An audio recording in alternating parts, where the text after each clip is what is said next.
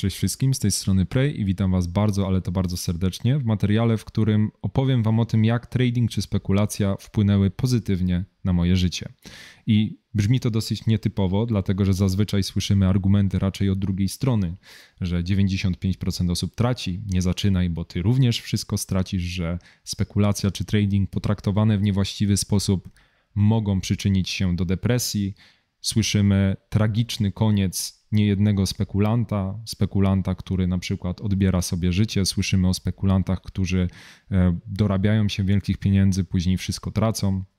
I tak dalej, i tak dalej. Natomiast jest też druga strona medalu, i mimo wszystko, oczywiście, tamte rzeczy trzeba traktować poważnie, i do takiego potraktowania również Was zachęcam. Natomiast każdy aspekt naszego życia, każdy zawód można przedstawić tylko od tej złej strony. Jasnym jest, że trading i spekulacja wyjątkowo wiąże się z dużym, bardzo dużym ryzykiem, no bo opiewa na prawdopodobieństwie. Natomiast jest również wiele elementów pozytywnych wynikających z najzwyczajniej mówiąc odpowiedzialnego potraktowania spekulacji. I dzisiaj chciałbym Wam opowiedzieć, jak wygląda moja przygoda jak się zaczynała, jak ja jako spekulant, a przede wszystkim jako osoba ewoluuję podczas właśnie przechodzenia tej przygody.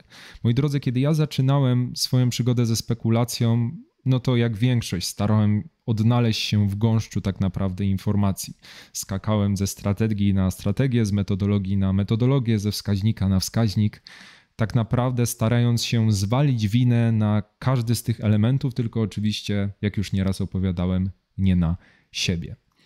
I moment, w którym doszedłem do tego, co już oczywiście również nieraz opowiadałem, że to psychologia jest tutaj głównym elementem tak naprawdę bycia pozytywnym, zyskownym spekulantem, to był moment, w którym zacząłem się skupiać na pewnych aspektach w moim życiu, do których wcześniej nie przywiązywałem nigdy takiej wagi.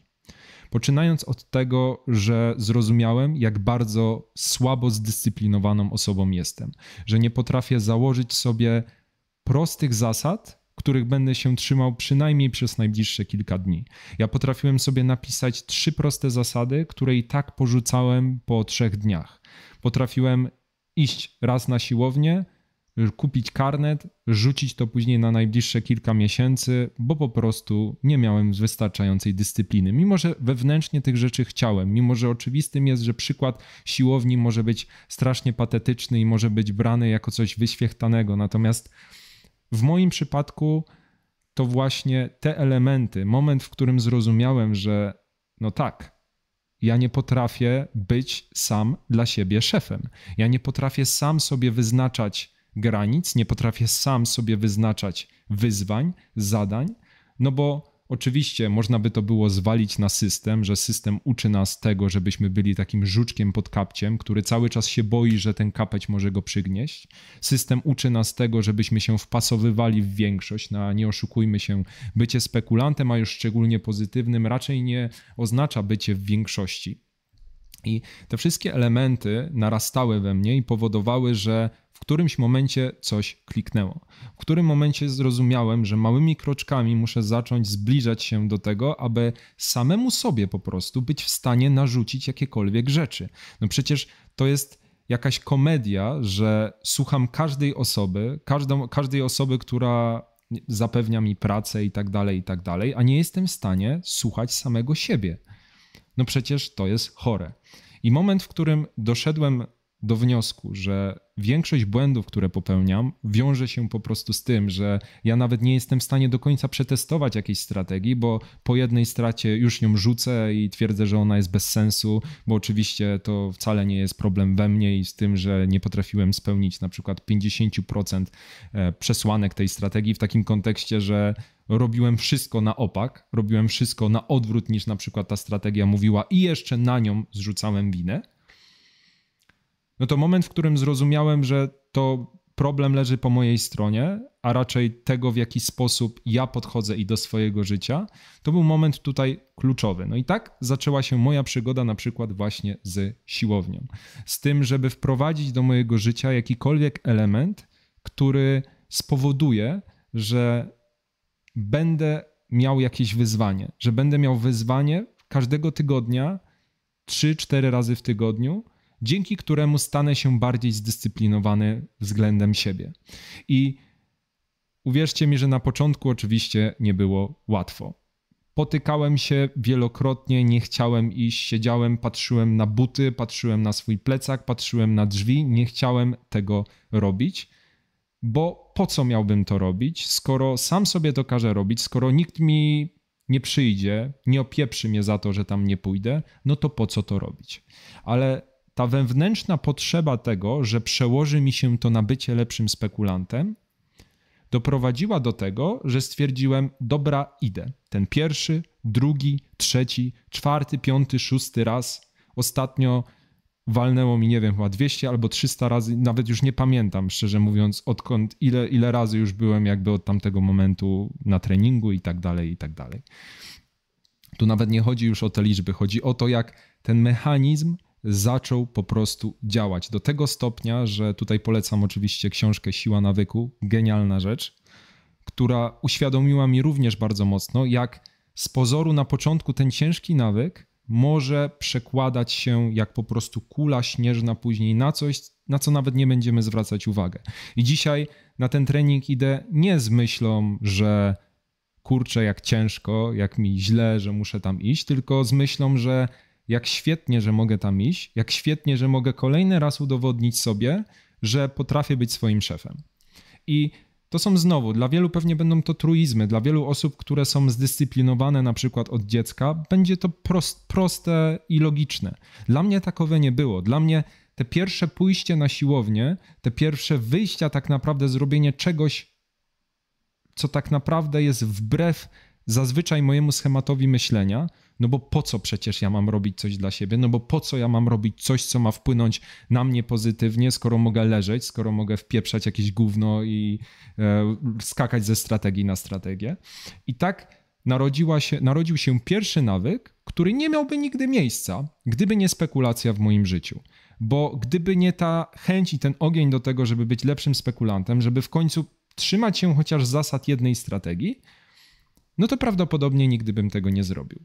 Co oczywiście przekłada się diametralnie na zdrowie, bo no, nie oszukujmy się, aktywność fizyczna jest kluczowym elementem, jeżeli chodzi o zdrowie człowieka. I jeżeli ktoś stara się to zaprzeczyć, no to naprawdę polecam wyjść z tego kanału, bo, bo nie wyobrażam sobie tego, w jaki sposób aktywność fizyczna miałaby, oczywiście rozsądna, negatywnie wpływać na nasze życie. Więc to był pierwszy element, który naprawdę, jak kula śnieżna, niesamowicie spowodował tonę, ale to tonę pozytywnych rzeczy. Moi drodzy, dalej, journaling. To, że musiałem zacząć zapisywać swoje spekulacje i swoje przemyślenia. I to jest niesamowicie ogromna część obecnie mojego życia, dlatego że zaczęło się od prostego zapisywania trade'ów, zapisywania jakichś pozycji, zapisywania dlaczego wszedłem, dlaczego wyszedłem skończywszy na zapisywaniu emocji, które mi wtedy towarzyszyły. I to to nagle przerodziło się w coś niesamowitego. Ja nagle miałem przekrój tego, jak się czuję w przeciągu tygodnia. I oczywistym jest to, że to znowu nie każdy będzie miał na tyle nawet chęci, żeby to robić. Ale niesamowitym jest to, że dzięki spekulacji, dzięki tradingowi jesteśmy w stanie na tyle się do tego przekonać, że ostatecznie mimo że normalnie byśmy tego nie zrobili, to nawet i może chęć ta zrobienia kasy na tradingu, zrobienia kasy na spekulacji powoduje, że jesteśmy w stanie rzeczywiście pójść i to zrobić. Zapisać tego trada, zapisać te emocje i mamy nagle z lotu ptaka nasze samopoczucie w przeciągu tygodnia, później miesiąca, później pół roku. Jak Dlaczego podejmowaliśmy konkretne rzeczy na decyzje na rynku? Dlaczego zrobiliśmy tak, a nie inaczej? Co wtedy czuliśmy? Wstałem dzisiaj i czułem się tak i tak, przełożyło się to dzisiaj na moją spekulację. I nagle zaczynamy myśleć, a dlaczego jak się tak czułem? Dlaczego czułem się w taki, a nie inny sposób? I tak kolejna rzecz, dieta. Zacząłem rozumieć, że to, że nażrę się na przykład węgli z samego rana, nie będzie pozytywnie na mnie wpływać. Nie chodzi mi tu o to, żeby teraz być e, dietetykiem na YouTubie i mówić, że węgle rano B. Nie, to chodzi o moją, moje doświadczenia. Jadłem rano, spożywałem za dużo węgli, które wywalały mi indeks glikemiczny, siadałem do wykresów, byłem tak zestresowany, tak znerwicowany przez to, że to było tragiczne dla mnie przeżycie. Mała zmiana. Wprowadzenie postów przerywanych, wprowadzenie bardziej tłuszczowych śniadań, albo wykluczenie danego dnia śniadania, bo na przykład chcę sobie zrobić post przerywany. I nie chodzi tu o to, żeby teraz mówić, co i jak powinniście zrobić pod względem żywieniowym. Absolutnie nie. Bardzo proszę, nie bierzcie tego materiału pod tym względem. Tylko to są rzeczy, o których ja bym w życiu nigdy nie pomyślał, że mogę je zrobić, gdyby nie spekulacja. I to, to jest dla mnie najważniejsze do przekazania w tym materiale. I to są elementy, które ja nagle zaczęła mi spadać waga, nagle zacząłem się czuć lepiej, nagle zacząłem stawać rano bez kortyzolu, po prostu na poziomie, który przestawał mi w ogóle na poziomie, który tak naprawdę powodował, że nie mogłem normalnie funkcjonować, bo byłem taki przerażony. I wszystkie te elementy, które spowodowały, że chcę być lepszym spekulantem, chcę być lepszym traderem, nagle tak naprawdę zaczęły zmieniać moje życie.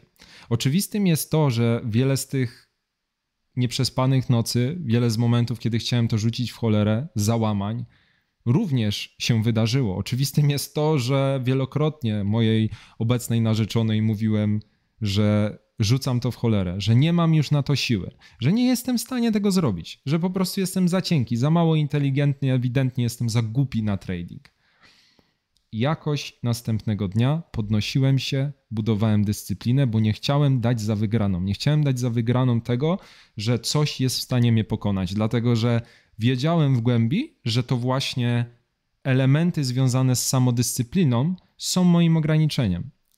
I to było dla mnie po prostu tutaj kluczowe, żeby z tym walczyć. I walczę z tym każdego dnia.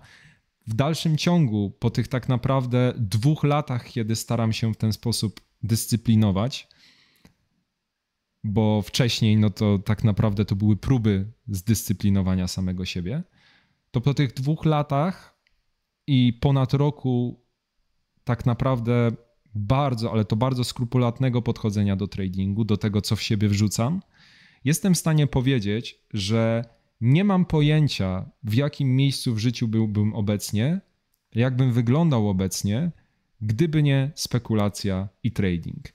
I Mogę również przyznać, że zawdzięczam spekulacji tradingowi i mojemu podejściu do niej przez ostatni czas tak naprawdę to, w jaki sposób się obecnie czuję i to, że jestem w stanie dużo lepiej, bo oczywiście nie w pełni, ale dyscyplinować samego siebie jako człowiek bez potrzeby kapcia nade mną. Moi drodzy, to tyle. Dziękuję Wam bardzo. Dajcie znać w komentarzach, może też mieliście tego typu przeżycia, tego typu przejścia związane z tradingiem czy spekulacją. Trzymajcie się, bądźcie bezpieczni, cześć.